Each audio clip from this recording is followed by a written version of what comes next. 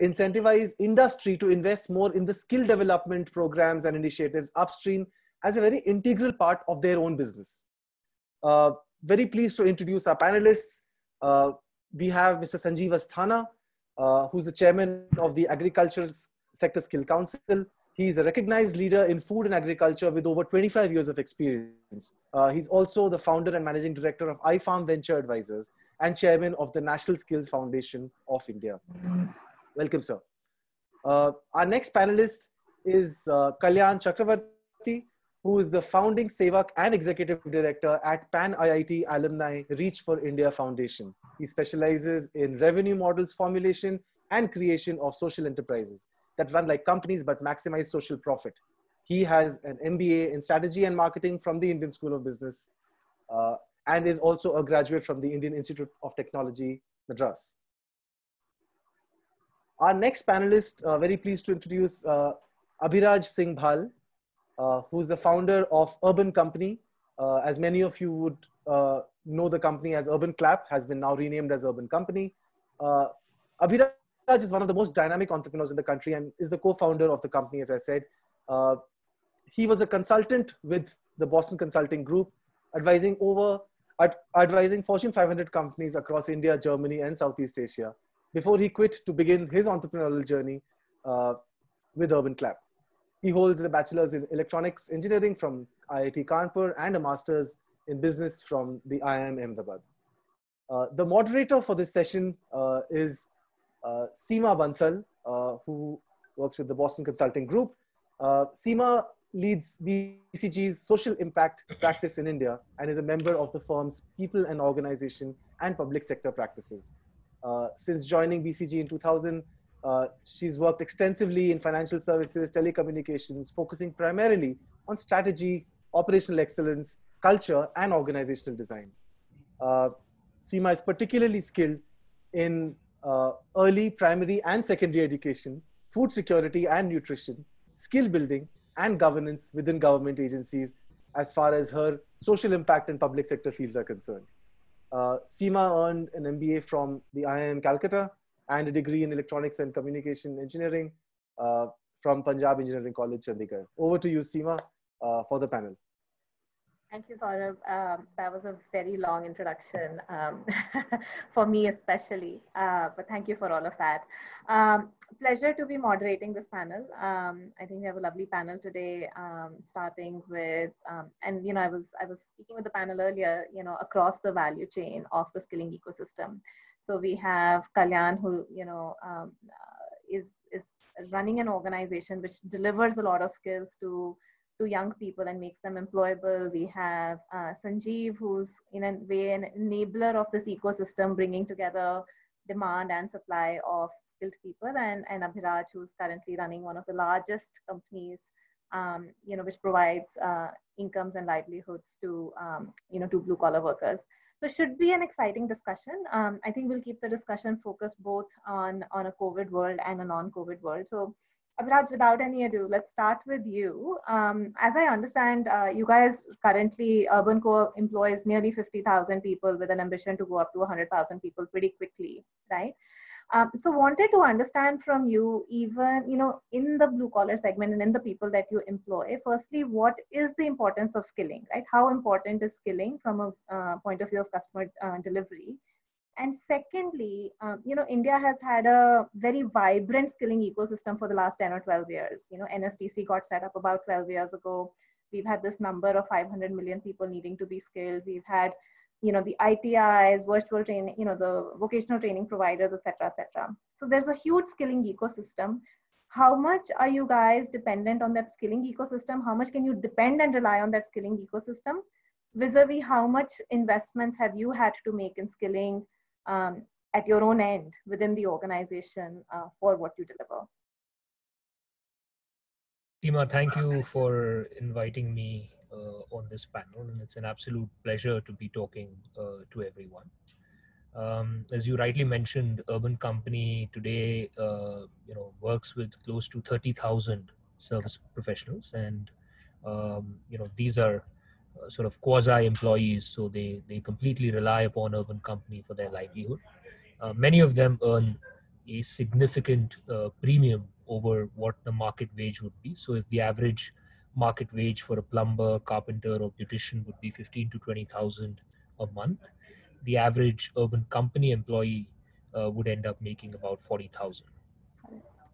Um, I think to your question around how important is skilling uh, to the experience for the end user, uh, it's probably one of the most important things. Uh, you know, we operate in the domain of services, uh, ranging from plumbers, carpenters, beauticians, etc., where the value is driven by the inherent skill that the service professional, uh, you know, has, and therefore, the more investments one makes in both the core skill of the professional as well as helping them with tools and mechanization which can make their work easier.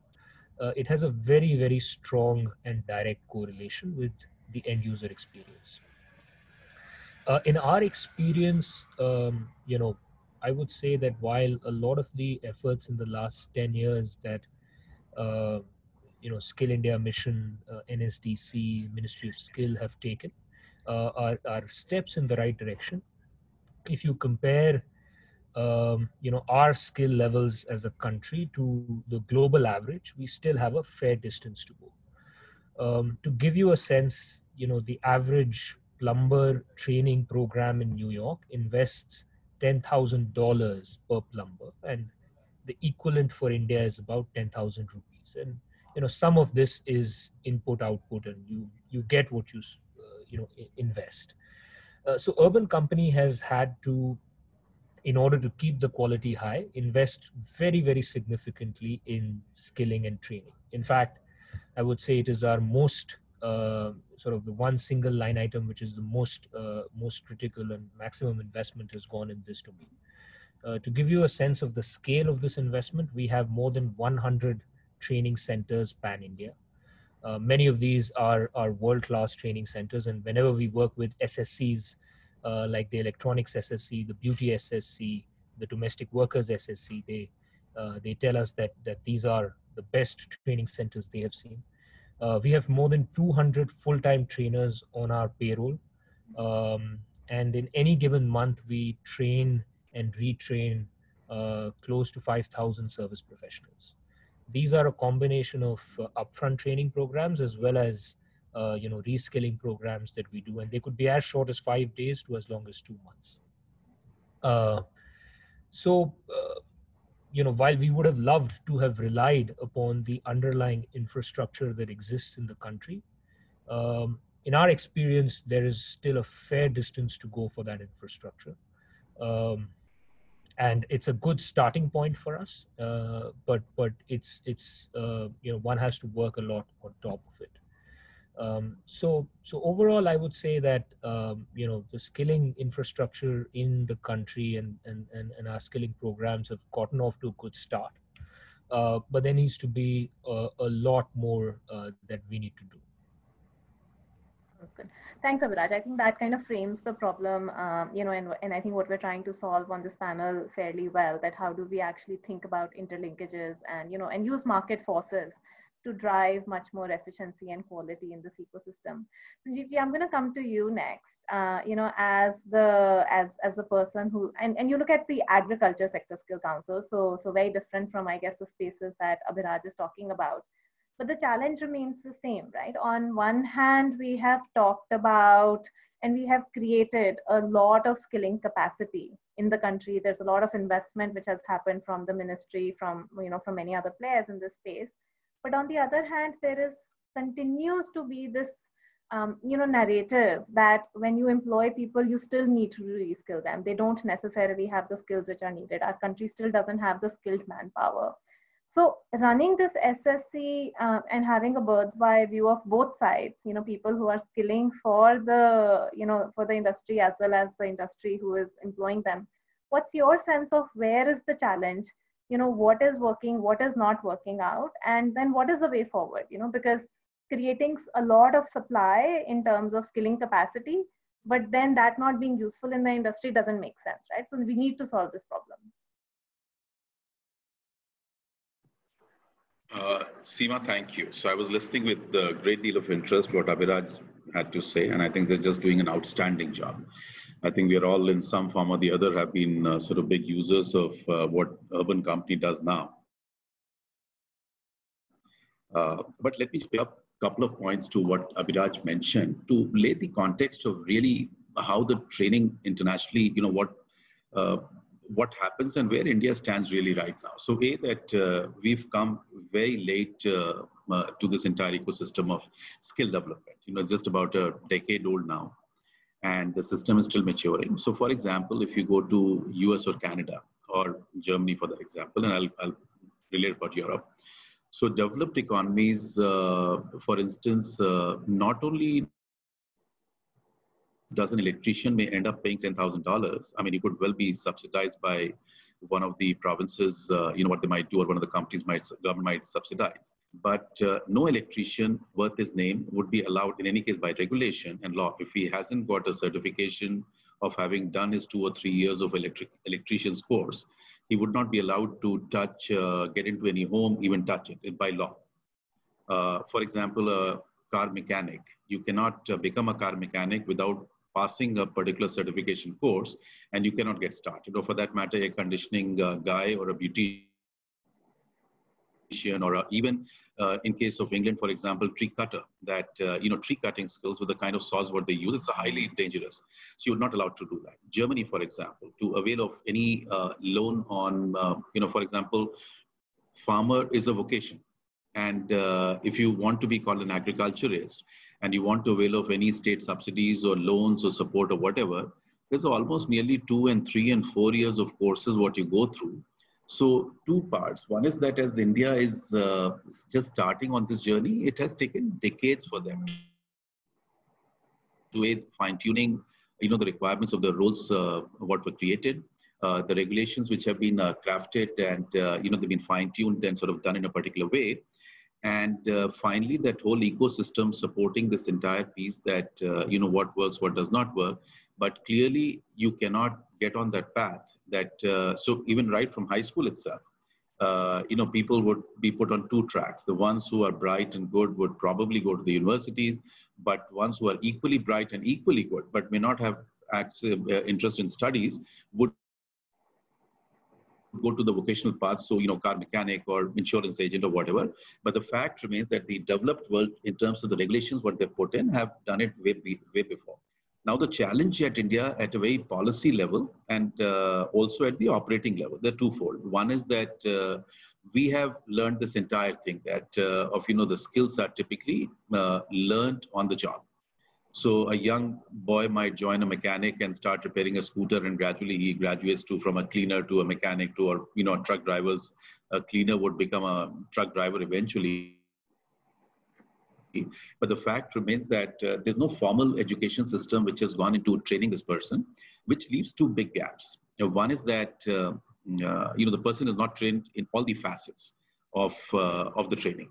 So, for example, an urban clap uh, or urban company air conditioning mechanic coming to your home would know substantially in terms of his behavior, what he dresses. You know, he takes a picture. There's a technology bit, so he's evolved. But uh, and perhaps he's getting trained. But is he exactly the same as what someone in the U.S. or Canada might be? Perhaps no. So, so there are a range of things which uh, which happens, and urban clap uh, uh, companies way ahead on this curve. Uh, but if I can go after vocation after vocation after vocation, the fact remains that the self-learning model has not takes you there, but not necessarily where exactly you might want to go. So that is one big gap uh, which is clearly there. The second issue which we have right now is related to uh, uh is related to uh, this whole issue of how this entire is worked out by you know when we look at the system of the regulations bit. Now, government today cannot uh, afford to really put regulations around uh, the two pieces that uh, you know, we will not allow anyone to touch an air conditioner till he's gone to a two-year course at ITI and done that. So I mean, clearly that's a problem. We are pretty rapidly on that front, and I think uh, sooner than later, uh, from the you know sector skill council perspective, aligning the skills of what they acquire in India in terms of getting international jobs, etc. That's happening. The second issue is on infra and the sophistication of the training, what is happening. I think it's a work in, it's a work in progress right now as it is moving forward. So clearly there are uh, some set of issues. is there, how it can move forward, uh, so how good this training ecosystem is. But the fact remains that uh, depending on where you ought to go. So, for example, in agriculture, I'll take a quick example that uh, the technology in agriculture is taking roots and becoming. And uh, for example, the protected cultivation, you know, the use uh, digital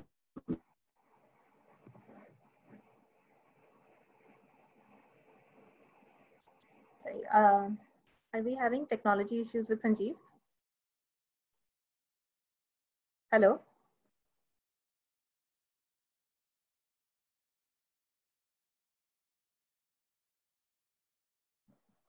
Hello?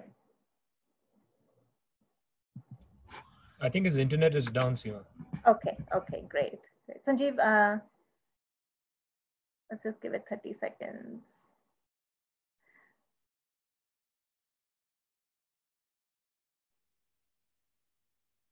Okay, great. Uh, Kalyan, why don't we move to you and then uh, and then we'll come back to Sanjeev. Um, so, you know, Kalyan, I think um, from what I understand, um, you guys are running a very large, uh, you know, skilling operations. Um, and, and when we spoke, you mentioned that, you know, you think about quality just as an IIT or an IIM would, right?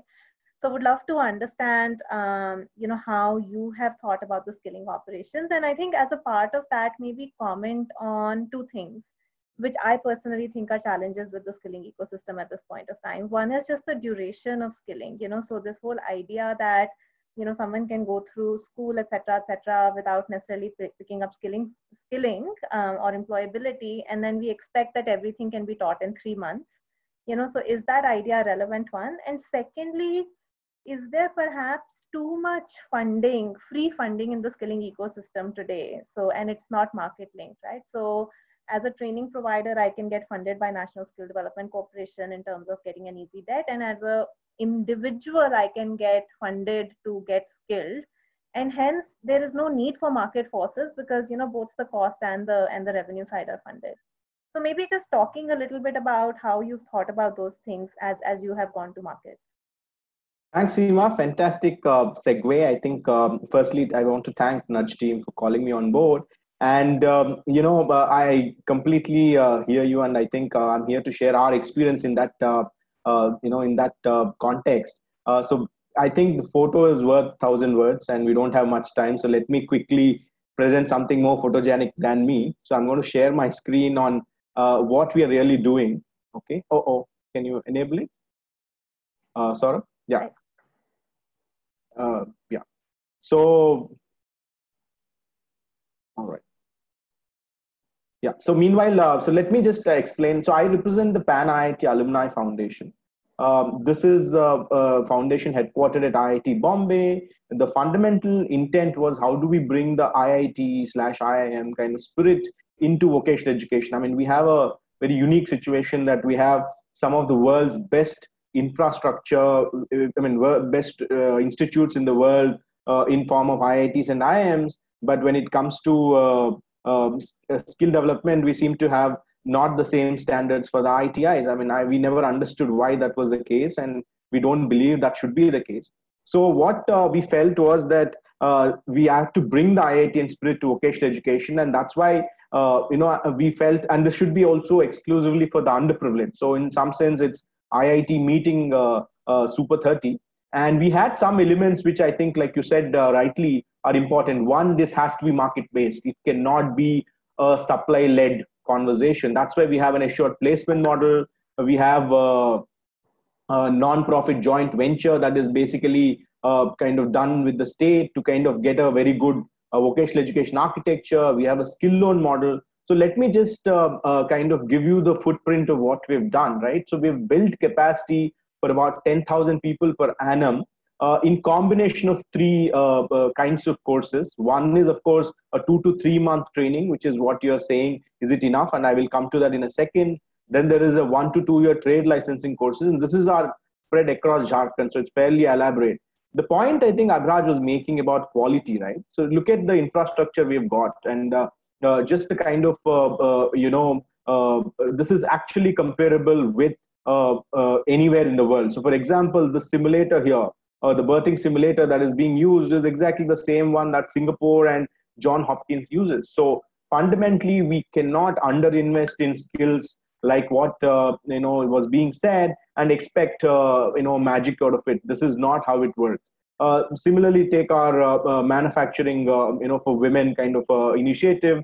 of course, we start with our standard engineering drawing, but we also have you know 3D prototyping and AutoCAD which in fact um, our uh, ISM, IIT ISM Dhanbad, the director said we, we ourselves don't have enough of those.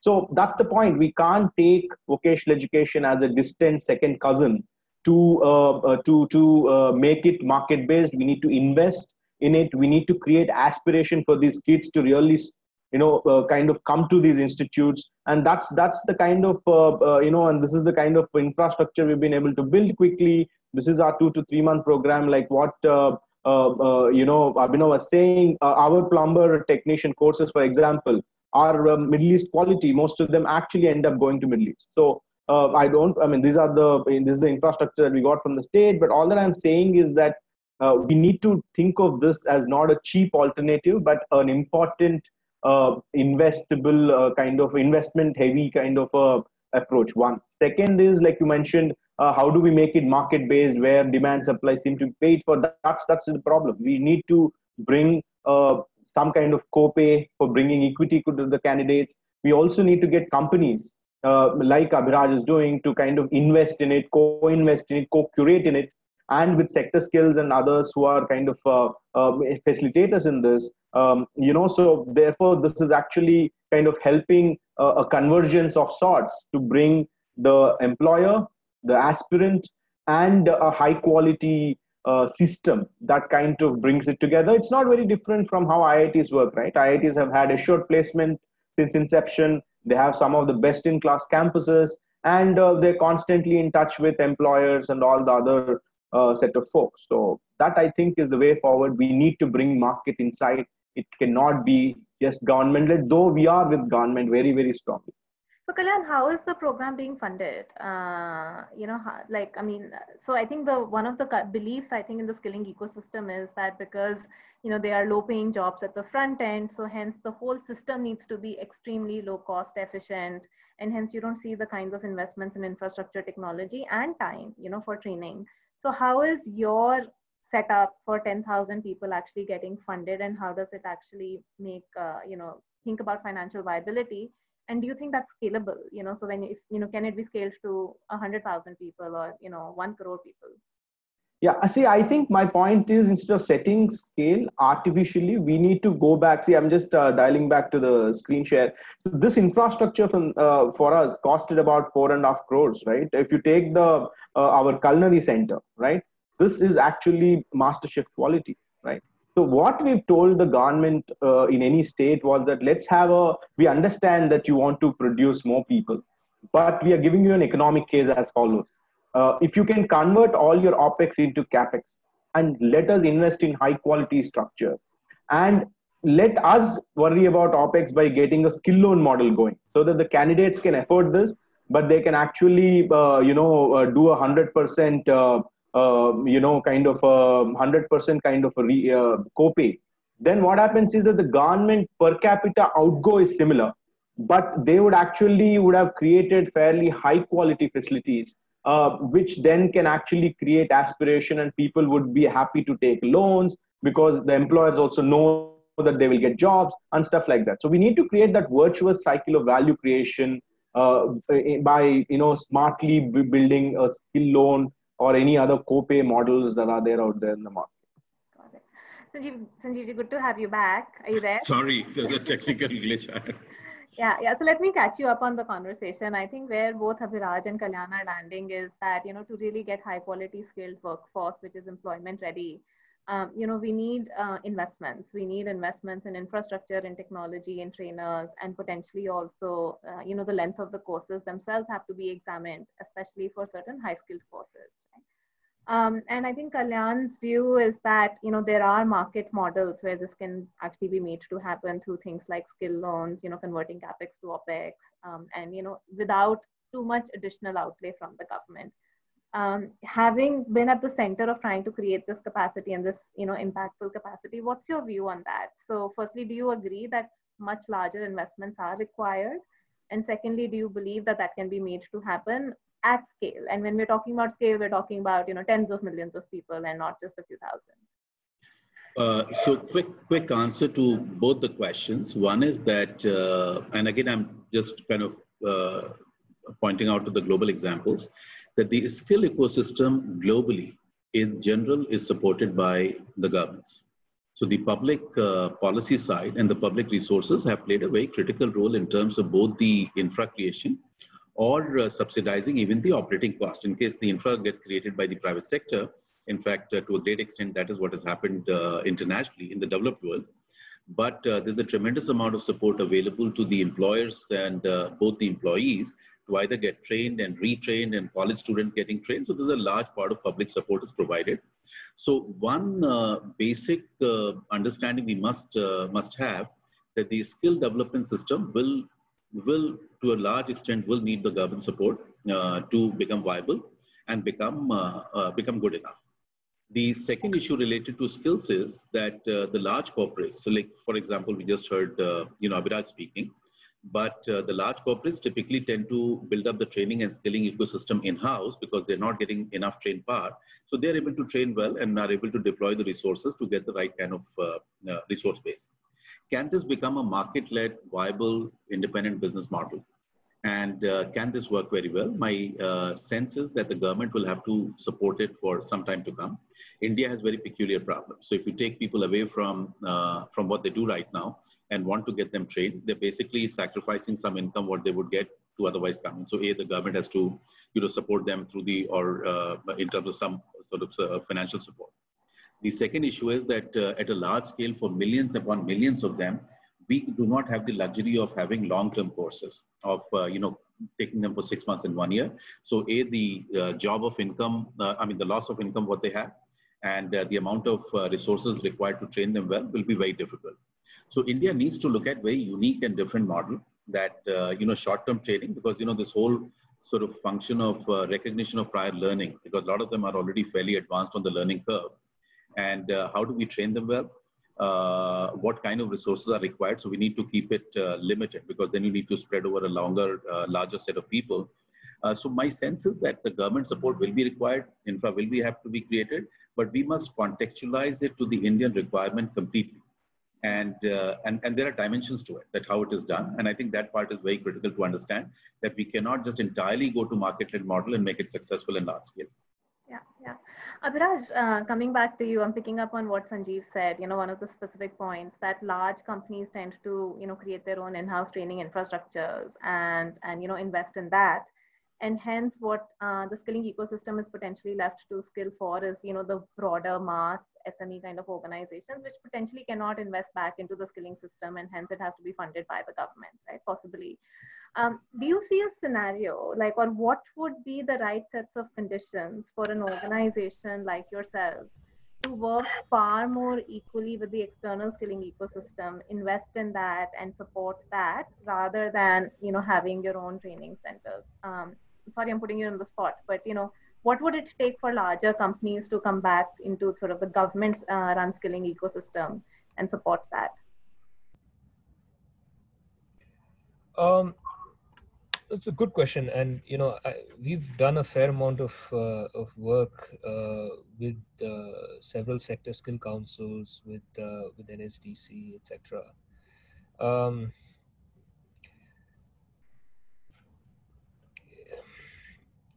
it's a tough one to answer. You know, the reality is that there's a certain way in which the skilling ecosystem has evolved in its first 10 to 12 years. And uh, there are both goods and bads um, of, of, of the current ecosystem. Um, I think, uh, as you rightly said, there's, there's, there's no problem of resources and money. I think the government has been generous to deploy lots of resources and money. But if one was to do a very systematic analysis of if, if that's the best use of every dollar that the government has spent. And you realize that you know everything is not as hunky-dory as it looks on the surface. And i think what that has meant is that you know sometimes large uh, you know organizations with the right corporate governance practices might choose to actually stay out of the skilling ecosystem because they realize that you know the complexity of working with the ecosystem the slowness of it etc etc is um, uh, you know might just weigh you down uh, and and reduce speed to market. And and so if you're able to create a you know market friendly structure on your own uh, then you know it's better to go ahead with that. For example the average urban company service professional you know uh, is able to do 50000 rupees worth of business for the company of which they keep 40 and they pay us 10 our average investment into any one professional is about 20 to 25000 so the payback period for us is two to two and a half months. So that kind of works. Uh, and tomorrow as the company's brand is building up uh, you know we have created we have partnered with lending partners to say can you give a loan? Uh, so that the company uh, you know that investment can happen from the, the service professional side. And it's a one and a half year loan so they have to pay a small amount every month right? Uh, i think the point i'm trying to make is i think large corporations have the intent um, and in certain i think all of us any large corporation that you see would have had some uh, you know in some shape or form they would be working with the government. Like we have an rpl program with nsdc where all urban company uh, skilled professionals are rpl recognized. So some of the easy things we've done but when you have to really get your hands dirty say okay can we take over a few uh, you know skilling academies or can we actually partner deeply to get skilled manpower on board? I think when the rubber hits the road then there's basically a big difference in both quality as well as you know actually on the ground how the skilling ecosystem works. Um, and and uh, hence i think it's you know large corporates just end up doing their own thing. Uh, you know and i think you know i think therein lies i think that is the core challenge that you know that we need to continue to work on. And i think we're continuing to work on it. But how do we bring sort of the larger corporates you know which have the ability to invest in skilling uh, you know, together with the skilling service providers, together with the SSCs to sort of say, you know, we can actually make this work because it's very clear from the examples that, you know, skilling can pay for itself eventually to some extent with some subsidy from the government, you know, if, if the whole ecosystem comes together. Um, I'm going to, uh, you know, there was one comment, Sanjeev, that you made, which is about, you know, um, the three month kind of a thing, right? And, and, you know, I think one of the things having, because I work a lot more in formal education, both school and higher education, the one thing that I've always wondered about is that why do we let um, you know sort of 12 years pass inside schools without necessarily thinking about employability? And then sort of say now this child has passed out after 12 and let's find now train him for him or her for three months right? I was telling kalyan my favorite example i went to a you know girls school in uh, ramgarh in uh, in jharkhand and all these girls are sitting on the floor in 10th grade and learning tan 45 is equal to 1 they're never going to use it. They're never going to use it right? So we we try and educate our kids in something which is completely unnecessary and outdated for a large variety of them. Let them go through that and then sort of say now we only have three months to make them employable because there's opportunity cost. But if we thought about vocationalization employability of school education and higher education you know it might be a different model. Uh, look you know the times that we live in we can't um, escape from talking about COVID. Uh, and, and I think on the skilling side, you know, that's a, that's a huge challenge at this point of time. Uh, in multiple ways, uh, in multiple ways. Um, I think the nature of demand going forward is going to look uh, very different. I think where the job opportunities are going to be is might be very different from where people were working earlier. Has implications on skilling, has implications on reskilling, also has implications on demand and supply matching as different parts of the country open up, shut down, people have moved away uh, Abhiraj, my my worldview is that we need a you know urban co of everything now going forward because the entire demand and supply you know matching will have. I'm thinking like Amazon of employment, right? That's what you guys need to get to and and work at a very different level. Uh, but just very quick comments on how does the skilling uh, ecosystem need to respond and and you know to the COVID uh, crisis. Um, we have seven eight minutes before we close the panel. So maybe Kalyan, starting with you, then Sanjeev, you, and then finally Abhiraj. You know, just two three minutes on what is the current situation going to imply for for each of us and for this ecosystem.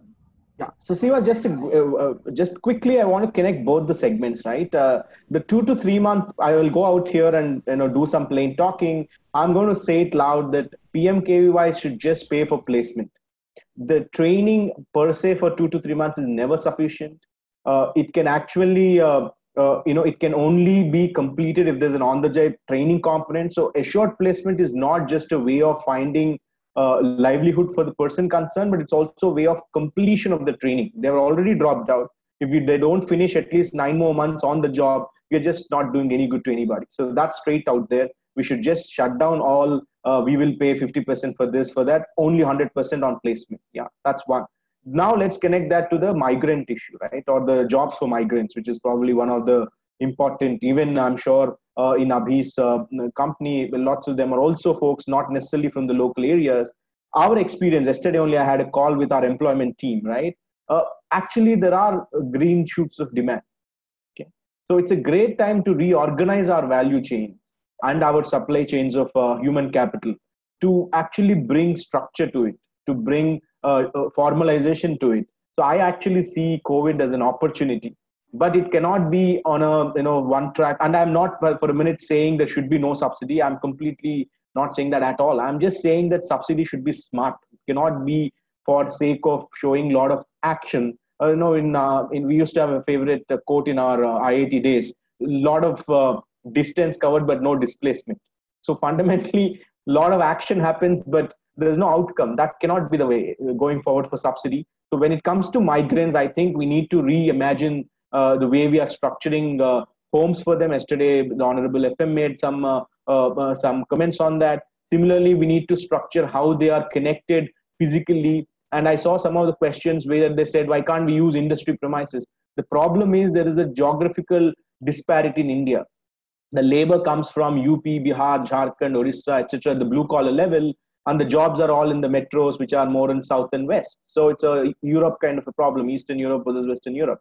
So we need to definitely have some facilities on the sourcing side, which which kind of give them a flavor, make them fit to learn on the job, and then place them here. So that I think has been the conventional view. With more focus and empathy for migrants, we cannot treat them uh, badly by not paying enough wages uh, and expect them to show up to work. I think that's not fair. We need to treat them better. We need to kind of take care of them and put productivity at the heart of this. Then eventually it will work out like uh, Abhi was saying about the you know business they do, etc. It will all work out, right? Uh, even construction companies, uh, the cement price is high now, right? Uh, they will anyway pass it on. So why can't they hike salaries to let's say 15,000 rupee levels and make it affordable and good for everybody? Sanjeev, uh, thank, thanks, Kalyan. Sanjeev, your views on are, is the Sector Skill Council thinking, um, you know, is there thinking within the Sector Skill Council about how does COVID impact, uh, you know, what we do? Uh, so I, uh, so good. I mean, thanks. I just want my quick two minutes just to explain exactly what we are talking about. So A, that uh, Sector Skill Council is working uh, very actively at two levels. One is that post-COVID-19, the requirement of creating uh, seamless uh, integrated institutions into the supply chain.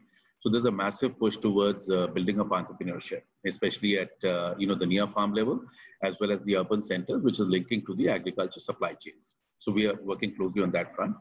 Uh, the second bit is there's a clear-cut uh, further distinction that uh, you know there are certain value chains which are more amenable to uh, building up entrepreneurship, which in any case today is being done in some form or the other in uh, urban areas. But we want to talk about the returning migrants that can become part of this. For example, horticulture value chains in dairy. Uh, for example, in areas like honey, medicinal plants, forestry produce, etc. There's a lot of work which is happening.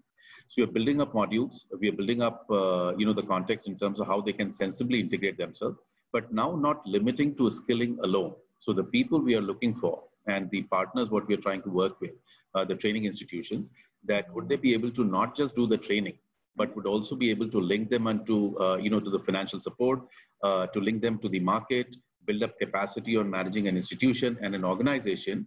And I think that's the whole idea. So we, our target is that we'd like to build up 100,000 entrepreneurs over next uh, one year. Mm-hmm. And these 100,000 in turn, if they can create jobs for another five people each, you're talking of almost nearly a half a million system ecosystem building it up. So, uh, so we're just moving a step ahead and insisting that the partners who come on board are also able to provide the other elements, not just simply do the training and give a certification and off they go. So I think that is the need for India right now where the entrepreneurship is concerned and the job creation part is concerned. That's really good to hear, Sanjeev. I mean, that, I think that's genuinely like I think thinking beyond beyond you know thinking ahead of time in terms of where we need to go. Very very cool to hear that.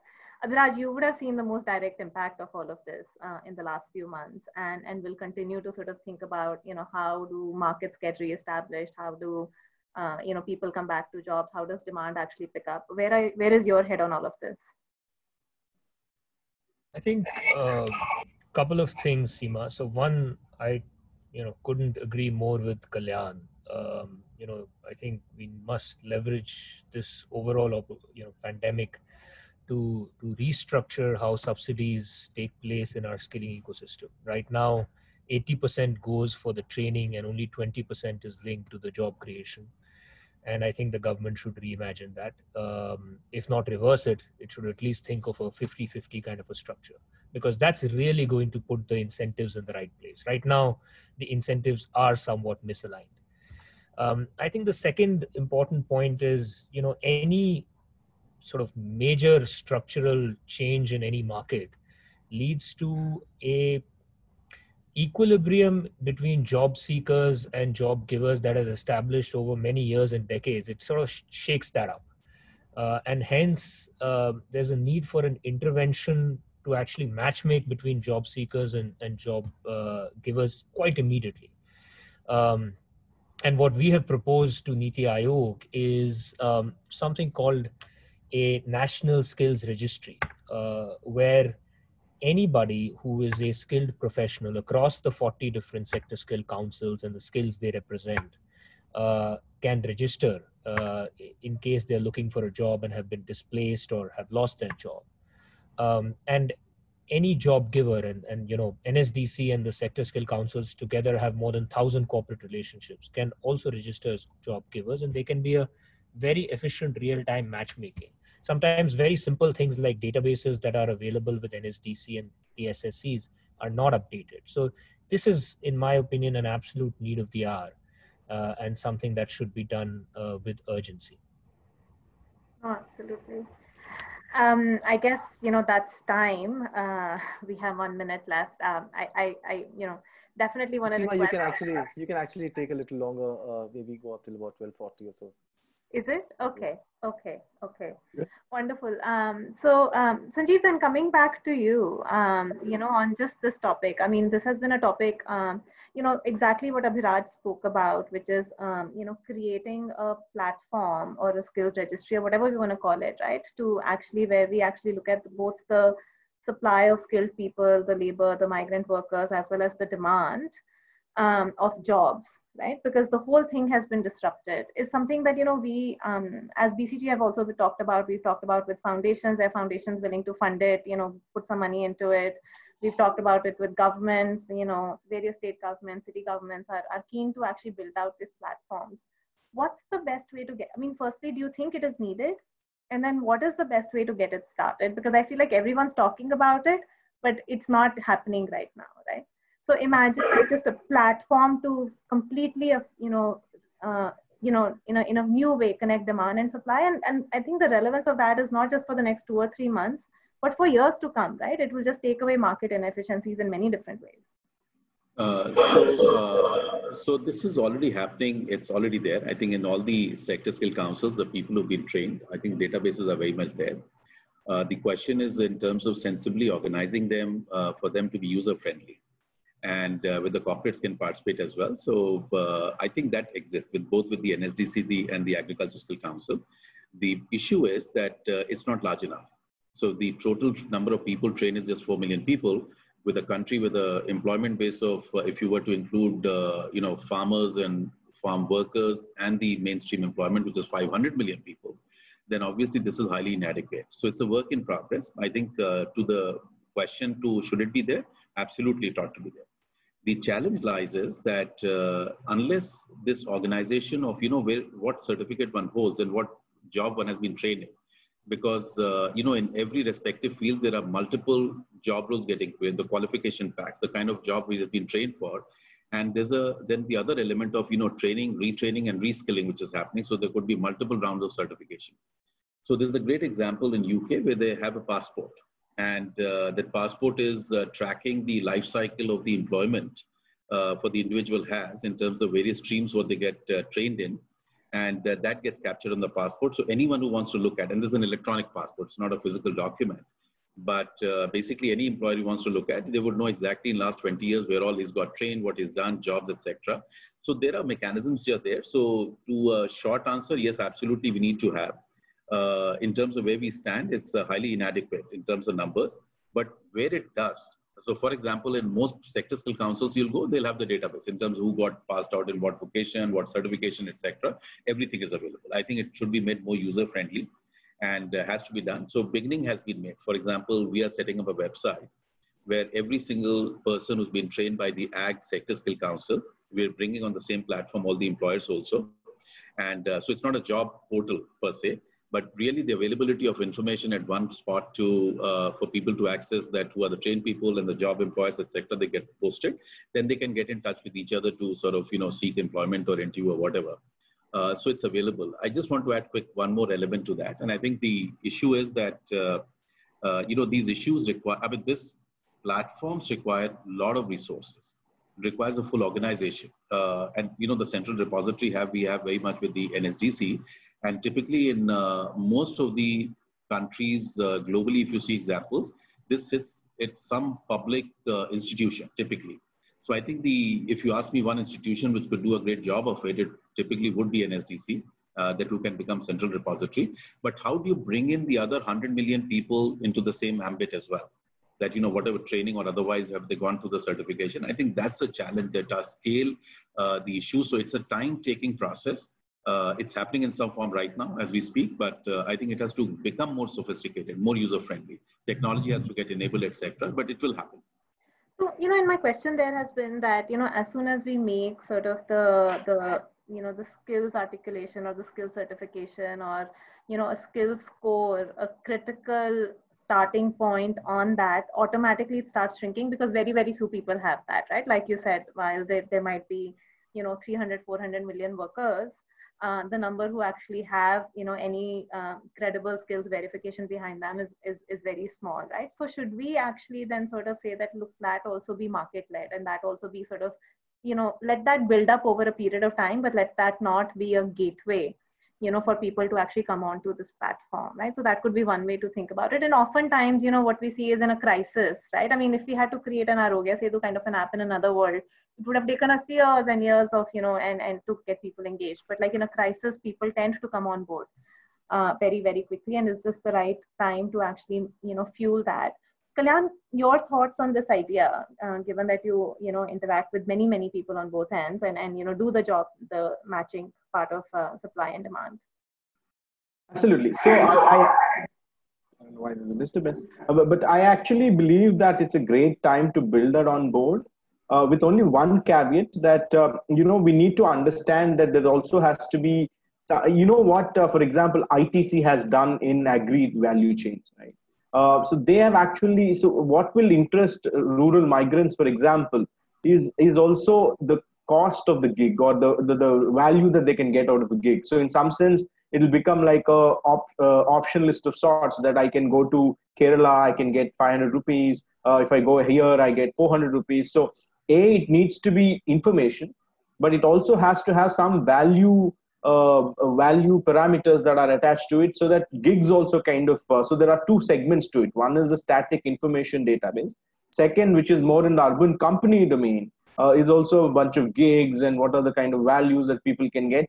But i think one point i would like to make here also is that i think the standardization of skilling and uh, the entire uh, nsqf alignment has honestly not been up to the mark. I mean um, uh, we probably are nowhere our level 6 here and level 6 in germany. Uh, level 6 in germany must be sachin tendulkar and here the bsc pass out will be level 6 or 5 or whatever. So i think we need to be very uh, recalibrate some of this reimagine some of this use this uh, covid as an opportunity in times of crisis and kind of bring together a good uh, labor management system. I honestly think uh, even better than nsdc would be somebody like NIC or you know somebody who actually is a uh, actor who's IT based, not so much data from the you know ministry which is involved based because then the employers also tend to worry are they policing us etc. So that's that's the kind of thing which I think should work. Well, that was Uh, a Seema, completely very very sorry to interrupt here. I was Ah. think uh, I was just want to suggest to you that there are a lot of questions from the audiences Oh, s- I'm as so well. sorry. You know, we Uh, if you'd like to uh, sort of take some of those questions over the next five minutes or so, maybe a couple of them.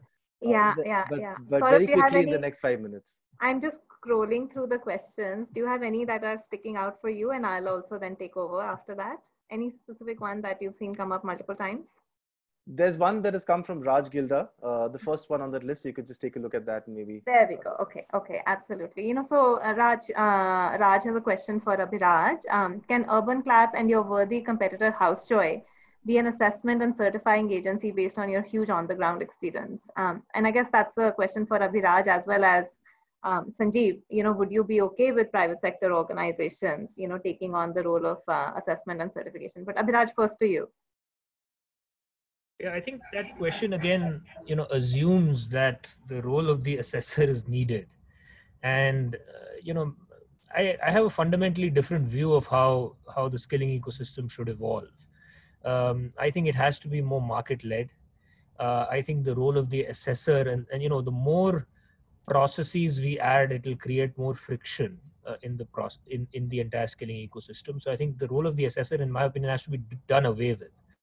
Um, and you have to link any government subsidies as i mentioned earlier uh, to um, actual market job creation for these skilled professionals. And there are enough and more mechanisms to determine whether somebody did get a job or not uh, in a in a certain period of time after they graduated uh, and the jobs market will really decide whether uh, you know the person is skilled or not um, it shouldn't be a hundred percent. Uh, There will always be, you know, some overcapacity. There will always be some capex infrastructure needed, uh, but it can't be 80-20. So my fundamental view actually is that this whole assessment model, in itself, which has become a very very large industry now on the side, um, and I'm quite circumspect about the value that it adds, uh, needs to be done away with. Sanjeev, I'm sure you have views on that. I think given the, you know, given the funding, I think you So- need to have accountability mechanisms. So please. So. I'll, uh, yeah, so I think uh, my view is uh, very different. I think we need uh, an assessment and doing away with uh, just make it completely, uh, you know, disorganized or, you know, completely uh, chaotic. Uh, so in India, we have other challenges as well. So I think, uh, you know, the our standards in terms of how the entities which are operating in the space, what levels of, uh, you know, uh, governance they follow in terms of the framework which have been put together. I think those are always a challenge. So there's a there is a requirement for an assessment. And uh, again, I would uh, say that even if you're replicating any of the best standards globally, there is a certification mechanism. So anything that you do, there's a certification, there's a cost to it. Whether it's done online or through the assessment system, it is required. And the question is whether, you know, is it questionable, whether more cost is going towards it. I don't think uh, we should bother too much about it at this stage. I think uh, that can be very well incorporated into the whole system. But I think integrity of managing the system is extremely important. So I think towards that purpose, assessment is required. And I think we need quality agencies now as usual typically might happen some assessment agencies might be good some may not be as good some may be ethical maybe less ethical that could well happen but i think that's the kind of governance uh, you know which has to be put in place to manage that better and i think uh, uh, uh, systems are seized of that and i think it's happening it's improving it's a lot better than what it was earlier so but we need assessment uh, and assessors both Seema, th- 30 second. Yeah, 30 second. If I may bring both of them together, why not have a duopoly? Why should only SSCs do it? Why can't industry or SSCs, anybody can do it, you know? So fundamentally, monopoly of any sort is not good. You should give options. You have a CBSE board, you have a state board, you have NIOS. Let everybody certify and eventually the market will find value uh, based on the value. If L&T, for example, says somebody is a good plumber, I think that's the last word as far as I'm concerned. So if the same can be said by plumbing sector skill counts, so both can and Uh, should coexist. Yeah, So, and Kalyan, Seema, I that- think. Um, sorry, sir. Please go on. No, so uh, just a quick answer to Kalyan. I think, look, uh, that issue is not whether anyone has a monopoly or otherwise. No, that's not the issue at all. I think the suggestion here is that we need quality uh, assessment agencies Absolutely. and a certain degree of framework of, uh, you know, some institutional architecture has to be there to manage it, to control that. And uh, that's the only point which is being said. So I not for a minute said that, you know, who should do it or who should not do it. We need as many high quality institutions to be doing that. And I think that's very important. Yeah, I'll just add, uh, Seema, I'm, I'm not saying that assessments should be done away with. I'm saying assessment agencies should be done away with. and there's a difference between the two. I think in today's day and age, you know, you have the IIT exams online, you have the CAT exam online. Urban Company today is in the pandemic world doing real-time assessments and onboarding skilled professionals all in an online fashion. Mm-hmm. So I think the assessment can be taken online. Anyways, it is assessing the skill, which is, in my opinion, should only be 20, 30, or 40% component. And the real big component should be whether the person gets a job or not. And so this sort of dual structure is what we need. And the role of the assessment agency needs to be done away with because you, in 10 years, if we would have had to build a high quality assessment agency infrastructure, we would have built it. You know, we, we haven't. And, and, and, and, you know, without mincing words, that part of the infrastructure is the most corrupt and the most failed in all our skilling infrastructure. So that needs to be done away with, bring technology, make it transparent, make it seamless. Seema, 100% of our candidates are uh, assessed by employers. That's why we have a assured placement model. 100%. Okay, I think, uh, no, yeah, thank you so, so. much, Kalyan. Um, so look, I just want to take 30 seconds and then hand it over to Saurabh. Firstly, thank you. I think thank you to each of the three of you. I think we've had a beautiful, very open discussion. I think we've all come in from very, very different points of view. We've talked about very touchy topics, uh, you know, role of the corporate, you know, should it be market led? What is the nature of subsidy? How much subsidies needed? Assessments, um, you know, COVID world, etc.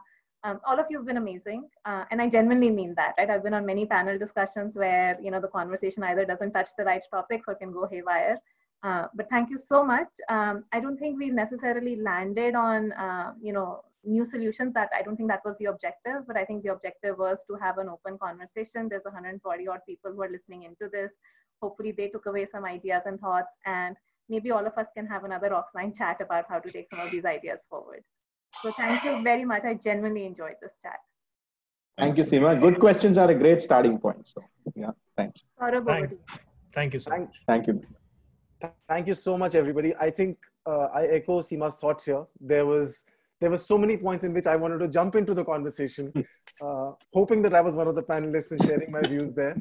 Uh, you guys were very candid and very to the point. I think it was, uh, uh I mean, I'm sure the audience, just like I did, had a great time uh, taking away from the entire discussion. Thank you so much, everyone. Abhiraj, Seema, uh, Sanjeev, sir, Kalyan. Thank you very Thank much. Thank you. Thank you very much. Thank you, everybody.